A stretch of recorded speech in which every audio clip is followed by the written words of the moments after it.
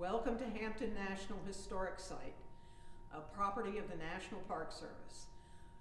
We're in the Great Hall of Hampton Mansion, which is the centerpiece of this 63 acre park that became a part of the Park Service in 1948. Before that, it had been owned by seven generations of the same prominent Maryland family, the Ridgelys.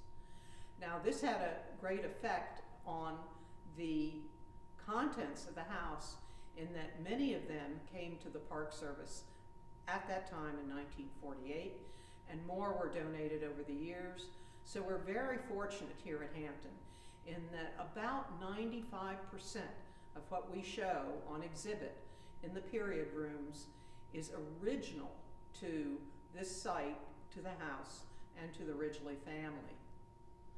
Now when we go through and visit the different period rooms, we are going to be basically taking a tour through time because there was not a single famous person or a single famous event that is associated with this house, but more the lifestyle covering seven different generations from approximately 1790 to 1948.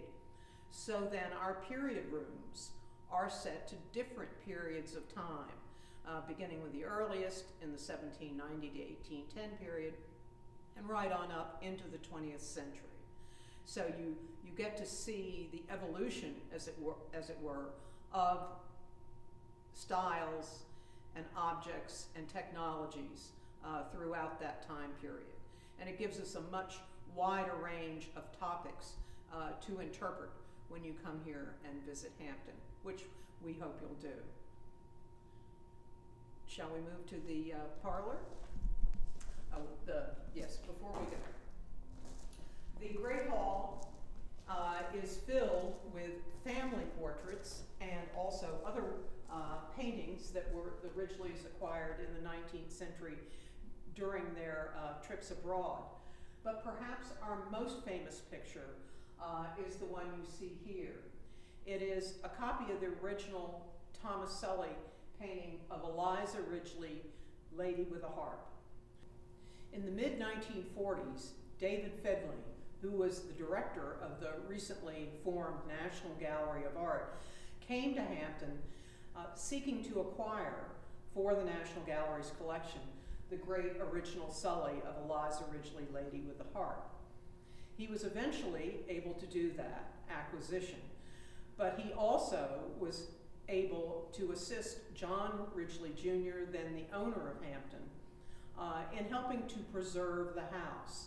Uh, John Ridgely was very concerned at that point that uh, encroaching development in the area and the very high cost of maintaining this property uh, would lead the house to be sold and perhaps even torn down and the collections dispersed. So with the help of David Finley and other historic preservationists, and particularly the National Park Service, uh, they were able to work out an arrangement whereby the Mellon Family Foundation, called the Avalon Foundation, was able to donate money through which the 63 acre property and the, the mansion and some of its collections were acquired by the National Park Service. Uh, that happened in 1948 when the site was designated Hampton National Historic Site. The enabling legislation, which was passed by Congress, says it was preserved for its architectural importance. And that is one of the things we interpret here in Hampton, but we also interpret a much broader story of all the people who lived and labored here from the 18th century through the 20th. So this painting, uh, the original, is now in the National Gallery of Art, and this is a very good 1950 copy uh, that was done for the house. We're going to proceed now uh, to go through our period rooms. We're going to go roughly chronologically because I think it just makes a little more sense that way. Uh, as we go through and, and look in the period rooms, you will see uh, a variety of quite elaborate reproduction curtains and wallpapers and carpets. Uh, and I would just like to mention that those uh, elaborate interior settings you're going to be, be seeing uh, are very much uh, made possible through the generosity of private donors, private individuals, foundations, uh, interested groups, such as the Colonial Dames uh, of America and, and our, our Women's Committee of Historic Hampton, and all these uh, agencies help to support this house and make these beautiful interiors.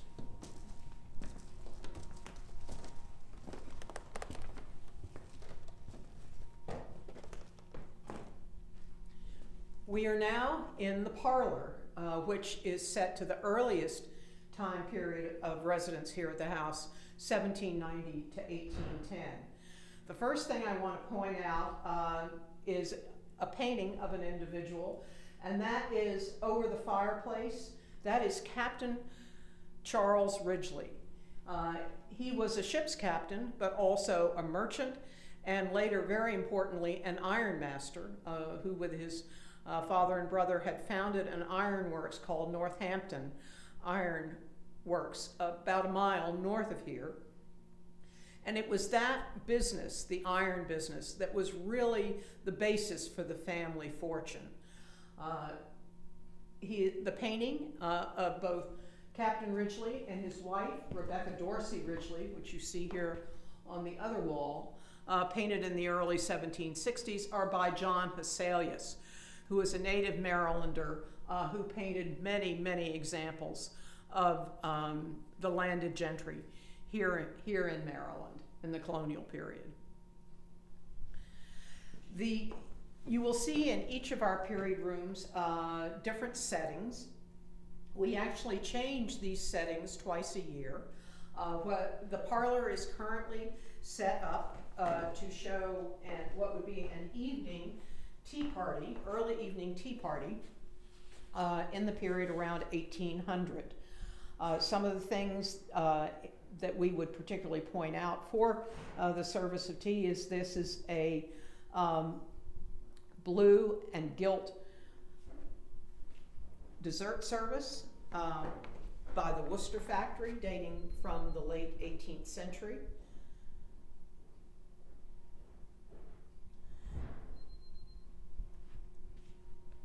The furniture in the room is principally, in fact, I think pretty much exclusively, uh, with, well, one, one uh, other notable example of Maryland make.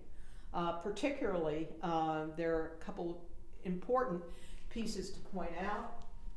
The armchair here, which is one of a pair, was made by one of the most famous names in Maryland cabinet making, and that is John Shaw of Annapolis.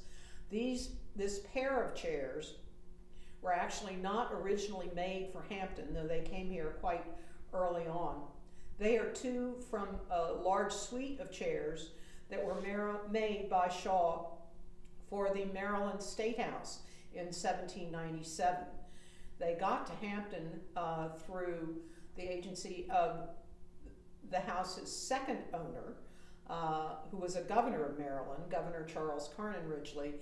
And when the furnishings uh, for the Maryland Senate chamber were dispersed uh, in the late 1820s. These chairs uh, were among them, and Governor Ridgely was able to acquire them. There are some other notable pieces of Maryland uh, and Baltimore furniture here in the parlor as well. Right here against the north wall, you see a beautiful federal sofa of the type that's called a cabriole sofa. Uh, as with many Maryland pieces, uh, and particularly Baltimore pieces, it is very closely derived from English design sources. In this case, uh, a, it is copying a plate in Hepplewhite's Guide, but you can also see the distinctive Baltimore bellflower inlay on the legs. Another very distinctive uh, Baltimore uh, design are the set of side chairs federal side chairs with a unusual shape of back that's called a modified shield back. It has serpentine uh, styles rather than simply curved ones, and a serpentine lower rail rather than a bowed lower rail. And three distinctive splats with tear, teardrop shaped piercings. Again, this is a, a form you really see only here in Maryland, and just like the cabriole sofa, it is very closely derived from uh, English design sources.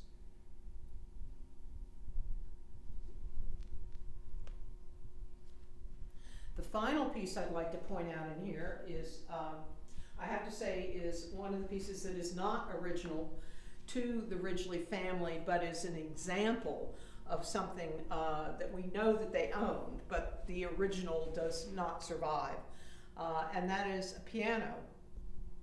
Uh, pianos were very, very expensive uh, in the late 18th century, and it was quite a status symbol uh, in this country if you owned one. Uh, the one you see here is London made by George Astor and Company. Uh, we do know that the Ridgelys uh, family, particularly the second uh, owner of Hampton, Governor Charles Carnan Ridgely, purchased two pianos uh, through a supplier in Philadelphia who was selling, uh, named Carr, who was selling imported English pianos. Uh, he purchased a uh, grand piano for his townhouse and a square piano, very similar to this, for his uh, Hampton, which was his country house.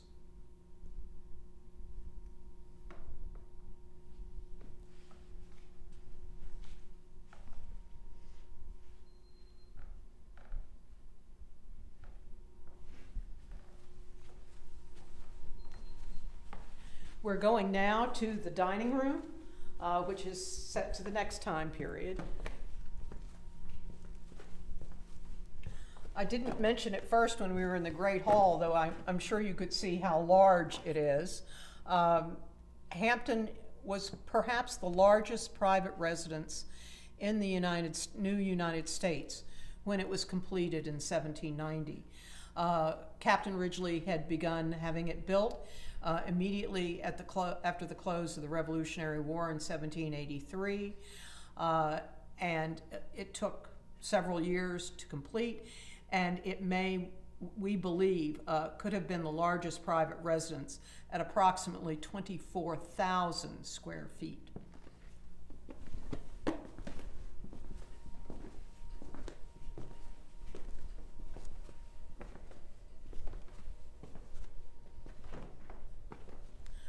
I'm sure you can notice quite a change in style uh, when we walk here into the dining room.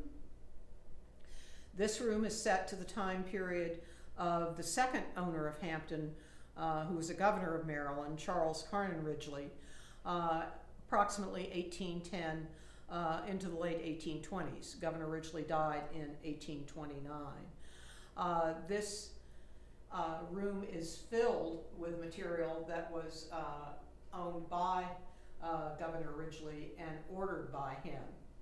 I think you are probably noticing right away the rather dramatic uh, setting uh, of this room with the paint colors, wallpaper, uh, the blue and yellow curtains. all of this is based on documentation. Each of these period rooms we'll be seeing uh, have had uh, very extensive furnishings plans done for them, and they are based on an amazing amount of original documentation. Uh, there are literally millions of pieces of paper, documents, related to the Ridgely family and this house. Uh, and we use those important uh, sources uh, to help us to help us uh, determine what to put in these different different rooms uh, from different time periods. So as I always tell people, these rooms are not my pers- necessarily my personal taste, though I would be perfectly happy with this dining room, uh, to have this dining room. Uh, but they do represent as accurately as we can make them uh, what was going on in those um, particular uh, time period of interiors. Uh, the blue, uh, the Prussian blue uh, paint on the woodworks accented with ochre yellow, again, has been documented uh, as being here in this time period through um, analysis of the painted surfaces. We know that there was wallpaper in this room, though we are uncertain of the exact pattern. But the one we uh, have chosen for this room is Monuments of Paris um, by Dufour, uh, which we know was being sold in Baltimore uh, in the uh, years when we also know that Governor Ridgely was having this room refurbished and was actually acquiring new furniture for it at the same time. The furnishings, you see the furniture uh, in the room again is all of Baltimore make and is of truly very high style Baltimore furniture. Most of it made right around 1815 to 1820. Uh, there's a magnificent large set of side chairs of a pattern uh, shape of splat and an overall design that is very typical of Baltimore chairs of this period.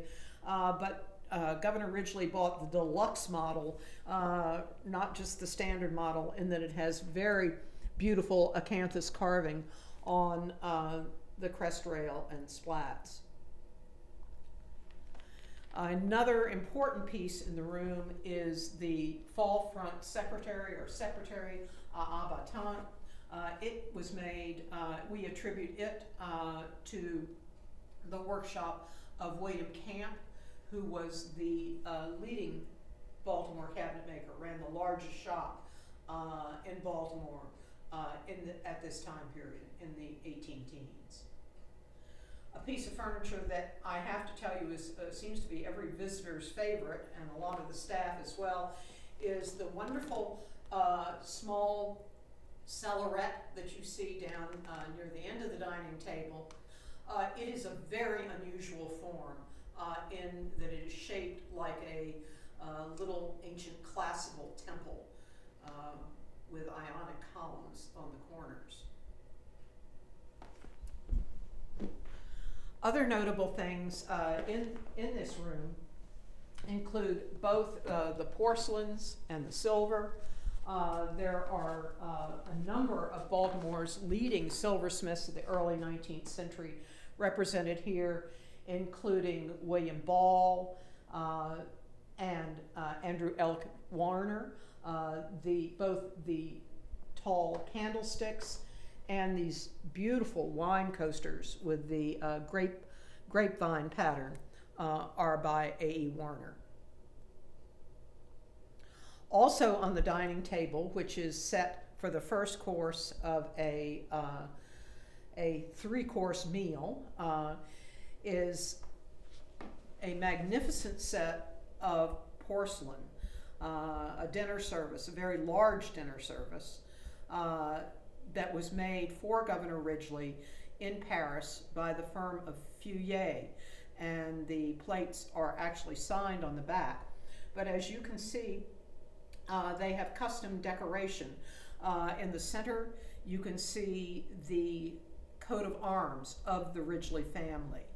Uh, and particularly note the stag's head crest. Uh, that uh, is present on a great many of the decorative arts here at Hampton. It's, uh, we have it on silver, of course, porcelains, it's in stained glass, there are uh, curtain tiebacks, there are looking glasses. It, the list goes on and on uh, where that parts of the coat of arms, or particularly the stag's head crest, was used. Focusing on the elaborately um, set sideboard, we have uh, both English and American silver but the two most notable pieces are the two very large racing trophies uh, on the back of the sideboard. These trophies are called the Postboy Cups uh, after the champion thoroughbred that Governor Ridgely owned, uh, whose name was Postboy. Uh, a British visitor who came, uh, named Charles Parkinson, who came to Hampton at the very beginning of the 19th century, uh, noted that in a publication of his travels that Governor Ridgely was, quote, very famous for racehorses. Uh, Parkinson had also said that Governor Ridgely, quote, kept the best table in America, uh, which means you could get very uh, fine and elaborate dinners here uh, if you were so lucky to be invited to Hampton. Uh, the Postboy Cups are uh, two trophies that the horse won for winning two consecutive Washington DC Jockey Club races, which was uh, a premier uh, horse race in America uh, in the early 19th century. Postboy won those races in 1804, and the cup on the left is from 1804, and the cup on the right here is from 1805. Uh, and there's actually an engraved portrait of Postboy uh, on the side. What's interesting about the trophies is also you can see if you took off the cap and finial here at the top, then the lid lifts off and forms a small punch bowl. They were made by Samuel Williamson of Philadelphia.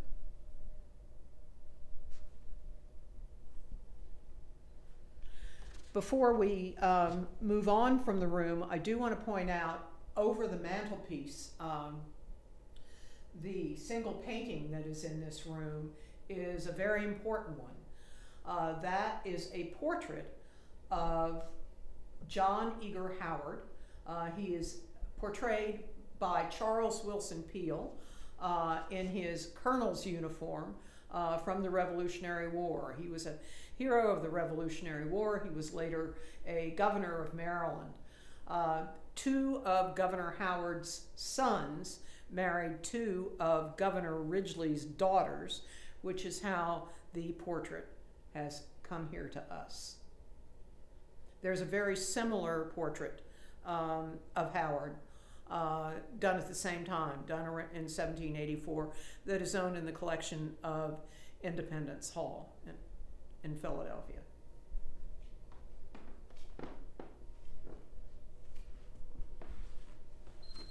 One more example of the stag's head crest. We can see here on the side table with desserts, uh, beautiful porcelain uh, dessert service, in this case made by Coalport. And they are marked on the back.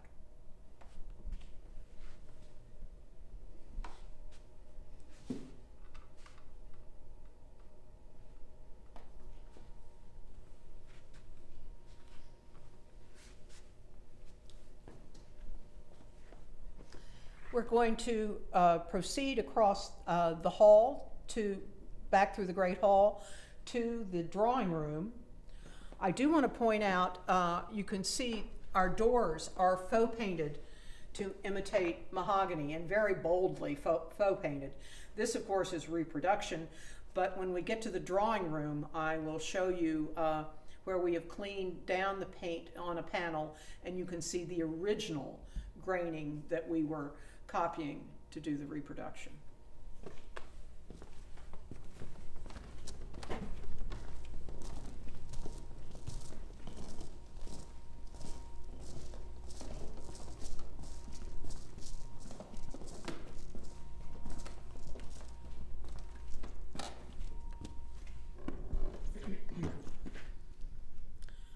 Welcome to the drawing room, uh, which uh, we have furnished to the period before the Civil War, uh, 17, pardon me, 1840 to 1860.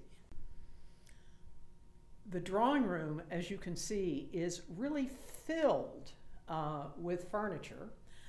And again, that we have done the research that shows, and there's documentation to show that in this pre Civil War time period, there was indeed uh, two large parlor suites in this room at the same time. I should point out, I had mentioned earlier that, oh, uh, approximately ninety-five percent of what we have on exhibit is original to the house or to the Ridgely family. I have to say, in the drawing room, we're actually at one hundred percent. Everything that you see in here, down to um, even uh, the uh, souvenirs of travels to to Europe that are on the on the two uh, console tables under the mirrors are original uh, to the family and to this house. Now, the furnishings in here, uh, the setting, I will just briefly mention. Again, as everything is original, uh, the red silk damask upholstery fabric uh, actually survived on three of the uh, pieces of seating furniture until about 20 years ago. Uh, the original tassels for the curtains, original exam, these are reproductions, but originals survive. Uh, two of the um, four original uh, window shades survive uh, that we were able to copy to make these reproductions. Um, the wallpaper is copied from late 19th century photographs of the room. Uh, it is a, a French paper uh, from the 1840s. So again, uh, the, all the um, soft furnishings. The carpet is particularly uh, interesting. It is a reproduction, but a very large piece of this car original carpet that was in this room, about a 20 by 20 foot fragment, survives uh, in our collection. Uh, the original carpet was ordered for the room in um, November of 1850 and is of a type called a tapestry velvet. Um, and the technology for that uh, to do uh, the very distinctive technology that created carpets that in this case has I think 43 different shades of yarn. Um, unfortunately no longer exists so we had to use an adapted Axminster uh, type but it does faithfully reproduce the appearance of the carpet. Now I mentioned that there are two parlor suites in here uh, of only dating perhaps 12 or 13 years apart uh, in date. The most famous one and probably the most important furniture in Hampton is a large parlor suite uh, that was made uh, by one of Baltimore's most famous craftsmen, and that is Hugh Fen, uh, pardon me, John Finlay. Uh, John and his brother Hugh had a very um, successful and prestigious company making painted furniture in the early 19th century. Our suite includes uh, this extraordinary um, square back sofa with gilded swan arms based on a design uh, plate by George Smith in his 1808 publication. There are 14 chairs, a center table, and a pier table. Uh, the original bill for this furniture survives in the family, um, and so that we know it was made for this room in 1832 by John Finlay. Uh, earlier, um, John and his brother Hugh are renowned for having made furniture uh, for James and Dolly Madison's White House in uh, 1809. Now, just a year after Eliza Ridgely had ordered this magnificent suite of drawing room furniture, uh, she and her husband went abroad for about 18 months. Uh, and when they got there, they just, I think Eliza must have discovered to her um, dismay that the neoclassical taste, uh, such as her suite of painted furniture uh, is in, uh, was really on the way out by then, and there was a new popular taste, which was for uh, the Rococo. Uh, it was called at the time the modern French, or often it was called Louis XIV's, only uh, actually it's Louis Quinze. Uh, but not long after Eliza returned from this uh, lengthy trip abroad, uh, in the early 1840s, she acquired a whole new parlor suite that was in the newly fashionable Rococo taste. And that includes, um, there are a pair of couches, uh, a tete-a-tete, four upholstered back armchairs, uh, side chairs, and two upholstered uh, armchairs. The designs of, uh, some of these uh, pieces, the designs are based on those that were published by Thomas King, uh, an English designer uh, in the mid 1830s. And again, from documentation, we know they were here in this room at the same time. Other notable uh, features in here are, are the magnificent pair of uh, large pier glasses uh, that have the shield from the Ridgely family coat of arms at the top, and then there are four matching window cornices as well. uh, the mirror, we can actually date them uh, because they have 1843 uh, newspaper uh, lining the backboards, and uh, which would make them probably the earliest documentable examples of Rococo revival in the United States. Another uh,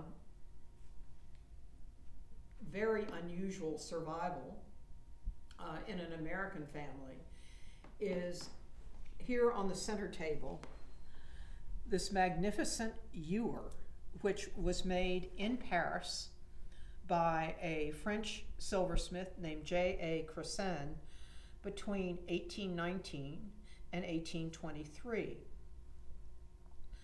The history of how it came to here to Hampton uh, is really quite remarkable. Uh, it is said by the family to have been a present from the Marquis de Lafayette when he was here uh, visiting the United States and particularly visiting Baltimore. Uh, many families here in Maryland have stories about gifts from Lafayette, but we think this one is probably pretty likely because when Lafayette was uh, in Baltimore in 1824, he was entertained at two private houses uh, for uh, ceremonial dinners.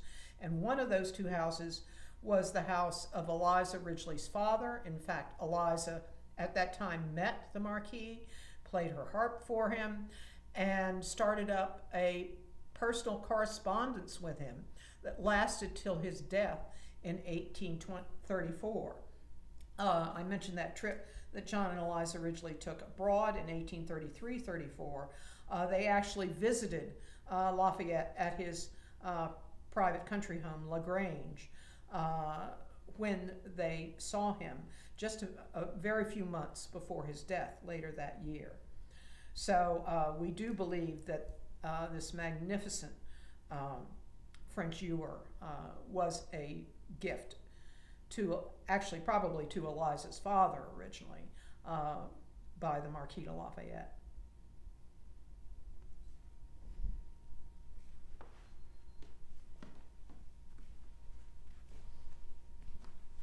There are two other uh, tables in the room, also from the workshop of John and Hugh Finley, uh, painted table that you see here along the north wall there's a pair here and the other one in the corner. Uh, very, very typical of Finley's, uh, the Finley brothers' work uh, in this time period and associated with an account uh, of Governor Ridgely paying mm, for uh, furniture from the Finleys in 1822. The distinctive, distinctive cross-shaped, uh, X-shaped base and that barrel uh, and ring turning of the shaft with the uh, brass rosettes is uh, very typical of the Finley's work, as is all the painted decoration as well.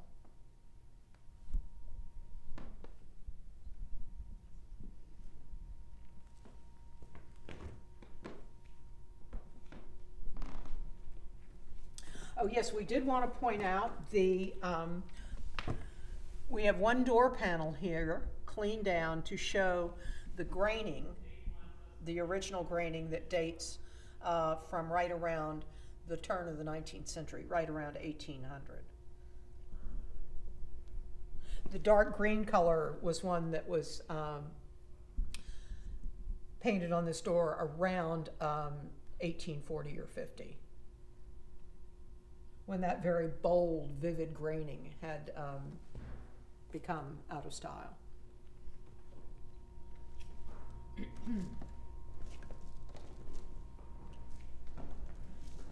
We're going to proceed down to uh, a room that actually dates from after the Civil War. Uh, again, I mentioned that we uh, interpret uh, a broad range of time here at Hampton from the late 18th century right on up into the 20th.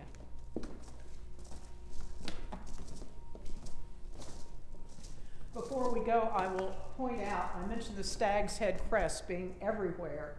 And the shot of the south wall of the uh, Great Hall will show that very clearly. Uh, you see uh, reproductions of original cornices with the stag's head crest, uh, the curtain tiebacks, uh, the stained glass over the door, which has the full coat of arms and the crest on top. And then there's a carved wooden coat of arms over the door. Uh, mentioning the, um, the stained glass, uh, in the 1850s, Eliza Ridgely uh, had stained, very quite elaborate stained glass windows uh, purchased uh, for the Great Hall. So if you can imagine it, where you see the bright sunlight coming in, in the mid 19th to all really to the mid 20th century, uh, there were stained glass, full stained glass windows in here. Uh, one 19th century visitor said it, it gave it a very chapel-like appearance. Um, when the Park Service restored the house in 1948 to 1950. Um, of course, the whole fashion then in historic houses was to return them to their earliest original pe period. And that was very much done with Hampton. They were very much focused on the late 18th through very early 19th century. So the stained glass windows were removed. Now, I have to tell you, we are very pleased that they were saved and they are in our museum collection. So um, we do still have the stained glass windows.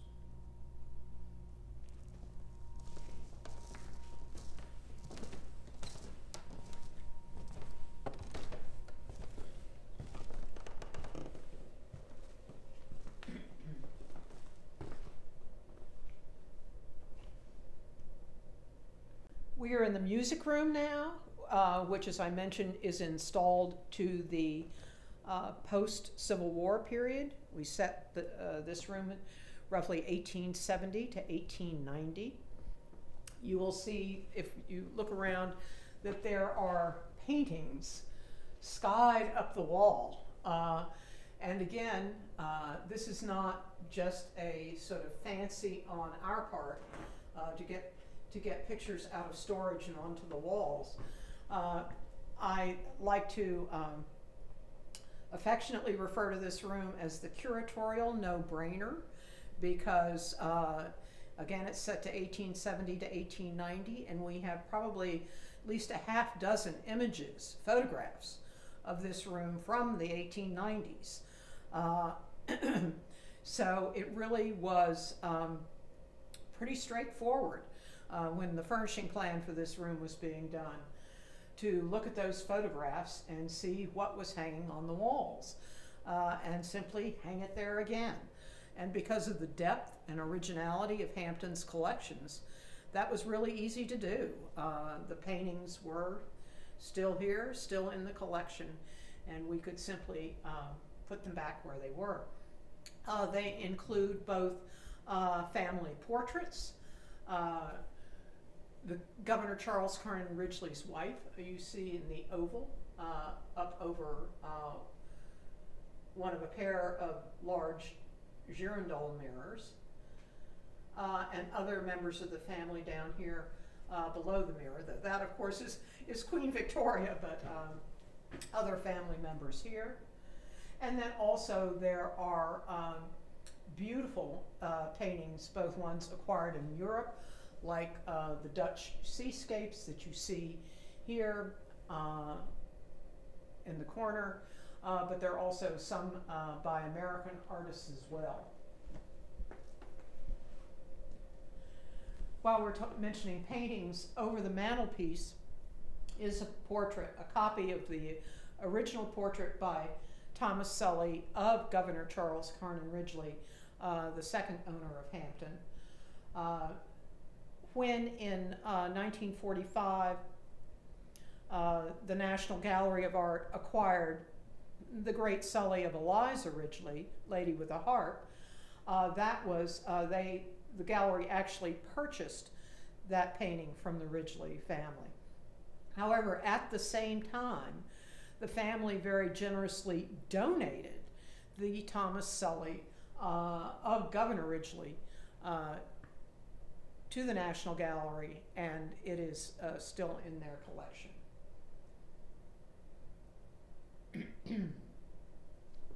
I'll briefly mention the, the setting in here, this very vivid yellow silk damask.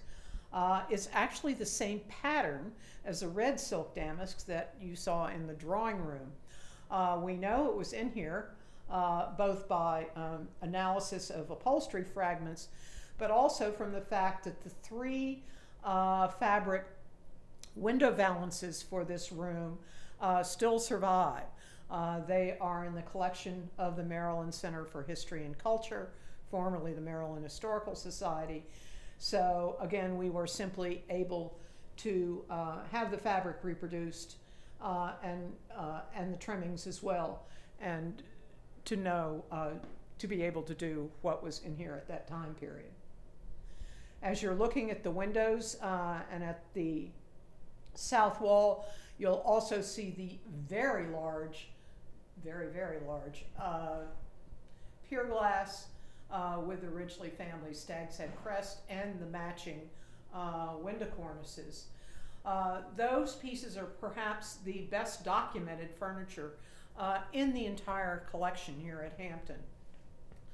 Uh, the original sketch for doing uh, the large pier glass uh, by the manufacturer, very um, a man named Samson Karras, who ran the largest and most um, successful of the uh, Baltimore looking glass makers in the mid 19th century. Uh, Samson Karras's sketch survives, uh, as does his original bill uh, that he sent to the Ridgelys for payment. Then the account uh, in John Ridgely's account book for paying for the looking glass and cornices survives. And then finally, the back of the um, looking glass itself, the backboards are signed in pencil by the installer uh, who installed that uh, the mirror in um, June of 1851. So it really is a quite remarkable bit of surviving documentation. We had um, the house, uh, the mansion was closed to the public for three years between 2005 and 2007 when we did major systems installation of climate control and fire suppression. And at that time, we had to both remove that looking glass and then reinstall it three years later. And um, with a very large team of people and professional assistants. Um, that is not a curatorial moment I hope to ever have to relive. Um, needless to say, it was nerve wracking. Now we are in the music room, uh, so named from the fact that uh, we have both the piano in here, the Steinway piano from the uh, late 1860s, but normally uh, a feature of the room, in fact the premier feature of the room, is right here by this uh, beautiful Baltimore uh, painted harp stand.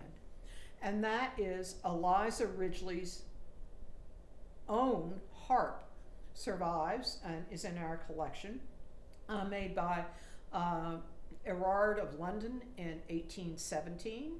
Uh, but in honor of its 200th birthday in 2017, uh, through the generosity of several private donors and uh, the efforts of both our uh, partner group, Historic Hampton Incorporated, and the Historic Hampton Women's Committee, uh, funds were raised so that the harp could be conserved in honor of its 200th uh, birthday.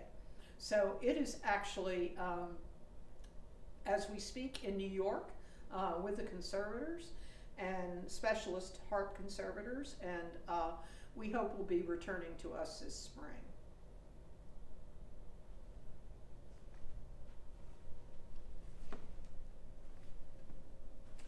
As you look around the room, you can see um, that in this post-Civil War era, uh, the furniture is more an accumulation of some newer pieces and some older pieces.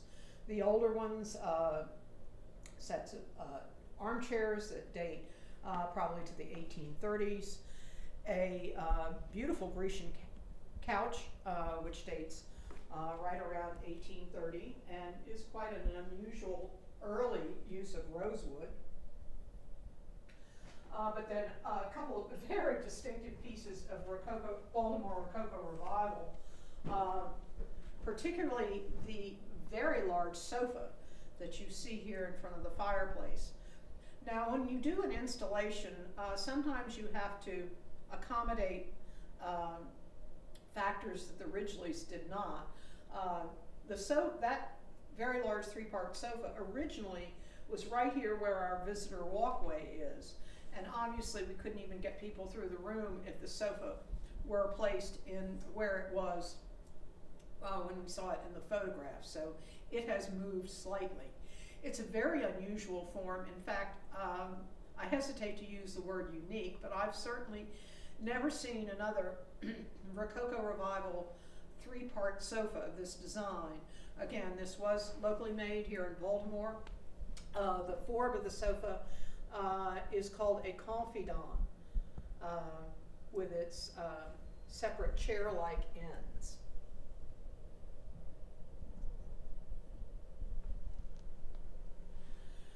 We do have uh, a wonderful, um, beautifully carved piece of Baltimore furniture here by a known maker because the original account for its acquis acquisition survives.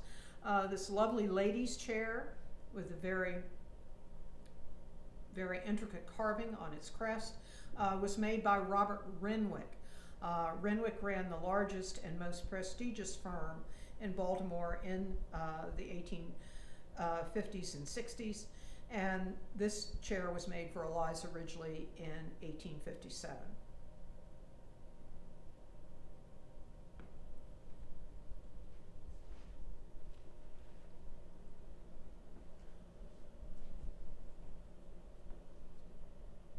On the north wall, you see a large uh, bookcase, library bookcase, made here in Baltimore uh, right around 1820 and you see it is filled with books. Those are just a few of the, oh, I think we have around 6,000 books uh, original to the, uh, to the house here uh, in our collections.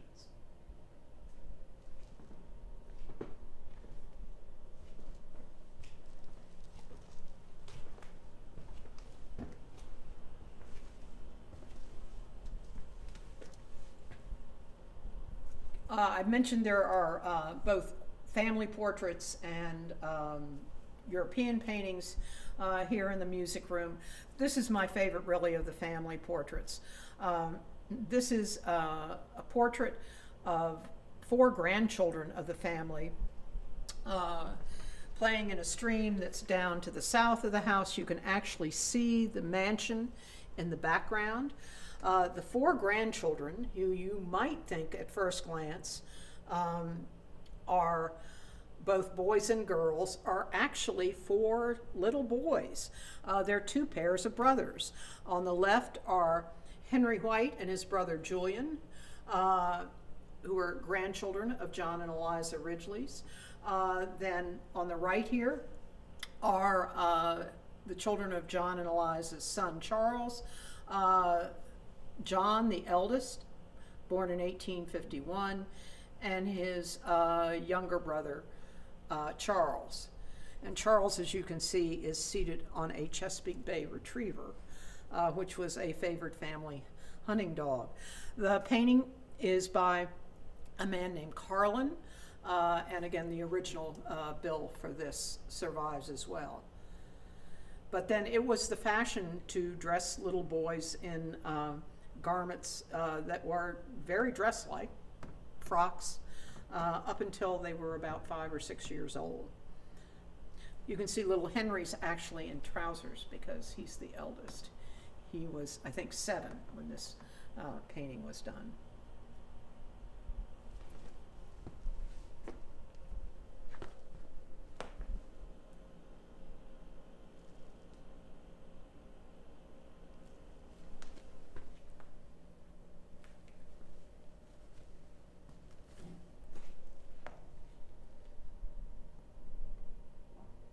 So I think now we'll head back into the Great Hall to talk about the ethnographic study. Great. I'd love to do that.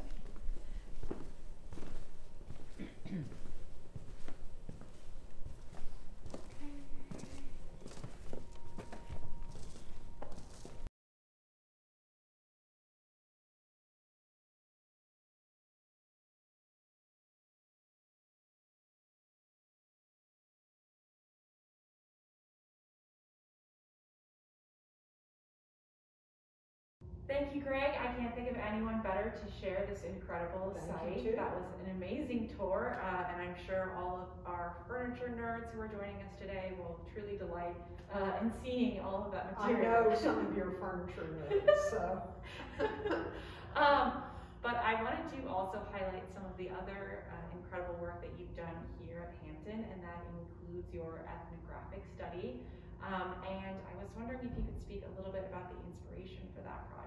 I'd be delighted to. Um, beginning in 2017, uh, we started here in Hampton a Park Service funded, uh, it's called an ethnographic overview and assessment, and we just refer to it as the ethnographic study um, for uh, brevity's sake. Um, to further investigate uh, the lives of the people that um, were enslaved here at Hampton, and then uh, a number of whom continued to work here after um, being freed. Um, I mentioned um, in my introduction uh, to my talk here today that um, though Hampton was designated a National Historic Site for its architectural importance, that we really tell a much broader story uh, to the visitors, and that's very true. We don't discuss uh, only the Ridgely family that lived here for seven generations. Uh, when you visit, you will hear a much uh, broader story of all the people that lived and labored here. Because after all, all the lavish uh, interiors that you see, the furniture and decorative arts, that was all made possible uh, by the labor of um, enslaved individuals. I had mentioned the uh, ironworks, uh, the Northampton Ironworks, about a mile north of here, uh, had in the 18th and early 19th century been the real basis of the family wealth. Well, that was extraordinarily arduous, difficult labor, uh, dangerous labor. And again, uh, it was uh, the labor principally, well, in the 18th century, both of indentured and convict servants uh, from Europe, but also uh, uh, in, by the 19th century exclusively, it was of uh, enslaved laborers. Um, at the height of the plantation uh, during Governor Ridgely's time period, there were, well, the entire estate, the greater estate, um, composed of the Hampton Home Farm, where we are now, and several other large properties, uh, at the time of his death in 1829, Governor Ridgely uh, owned uh, nearly 350 individuals. Now, good work, good investigative work into the, I mentioned those millions of documents associated with Hampton, which are held uh, both here at Hampton, uh, the Maryland Center for History and Culture, Maryland State Archives, and some other locations. But there are a lot of records related to the enslaved individuals that were here, uh, and then to workers later on in the, you know, in the post-Civil War era. Uh, a lot of good initial work had been done back in the 1990s, early 2000s, led by um, Dr. Kent Lancaster, who had been a professor at Goucher College, which is immediately adjacent to us. Um, so building on his work, uh, this ethnographic study, uh, which was undertaken beginning in 2017, we had an interdisciplinary team that was headed by principal investigator, pardon me, principal investigator, Dr. Cheryl LaRoche uh, from the University of Maryland. Uh, I had the um, enormous pleasure of being the staff liaison and actually a researcher on the project as well. And um, through this, we have been able to enormously expand our knowledge of the individuals who, who labored here. Uh, it had been our hope at the beginning of the project to take this vast wealth of documentary information and try and really learn more about the lives of individuals, not just the work they were doing, but who were their families, where they came from, what they did after they were freed, where they went, what were their lives in freedom like, and hopefully to find descendants uh, living in the current day. Uh, Dr. LaRoche and I discussing at the very beginning of the project, I think we thought if we had been, if we found a half a dozen individuals, we would be thrilled, living individuals who were descendants. Um, at last count, I can't give you an accurate figure because there's so many hundreds of living descendants of the Hampton enslaved that and more, uh, we turn up more on a very regular basis. So, but it's many hundreds of people. And we have been able to interview many of those people. Uh, we have established family trees, some of them dating from the 18th century to the 21st through seven, eight, nine generations uh, of probably for, I think, eight or nine different families. Uh, so it has been an extraordinarily worthwhile project. And what we've been able to do with this information is incorporate it into our tours, both here in the mansion, on the farm side, where we have, in addition to the overseer's house, several barns and outbuildings, we also have two surviving stand, standing slave quarters that date from the 1850s, which is very unusual survival. So, but we don't, don't just talk about the enslaved over there uh, at the farm. We talk about them here and throughout the house. And now that we have stories of individuals to incorporate, it's not just statistics. It's really personal stories. Um, we, the same sort of tour you and I just did, uh, we could do, do a comparable tour in this house of the individuals who we know who would have been assisting in all those rooms and working in those rooms. And it's not just saying a name, it's saying, well, for instance, in the dining room, um, in the mid 19th century, the head waiter, uh, we could tell you uh, not only his name, which was Mark Posey, we can tell you the names of his two wives, all of his children, the fact that in 1852 his 15 year old daughter decided to uh, flee um, from slavery um, and sought her freedom and wound up living in Baltimore City, was never recaptured. Um, we can tell you what Mark did when he was finally freed by emancipation in 1864. Uh, and, you know, What did he do? I, he continued to be a waiter. He just worked for a, a hotel Wow. in Towson. Uh, one of the important things we established, we used to regularly be asked by the public, well, where did people go? Because they were free. And we would sort of wave, wave a hand down south of here and say, well, we think a lot of them went to Towson, uh, which is the town uh, that Hampton is in, uh, the county seat of Baltimore County. There's a community, um, African American community called East Towson, where the um, belief is that enslaved, formerly enslaved from Hampton established it. Um, but we couldn't really tell you for sure. We now know that yes, a number, particularly the, those freed in 1864, did um, go to communities in Towson. One named Sandy Bottom, another, uh, yes, to East Towson. But we found that an almost equal number uh, went to um, Baltimore City. Before the Civil War, uh, Governor Ridgely in 1829 through his will had manumitted or freed a fairly substantial portion of his enslaved uh, workers. Uh, and particularly in that earlier period, um, an equal number of individuals moved into the city of Baltimore because there was economic opportunity there. There were already established African American communities of free blacks. In fact, Baltimore had the largest population of uh, free blacks immediately before the Civil, War in the United States. So there were there were communities in support there, particularly uh, fraternal organizations and churches and that sort of thing.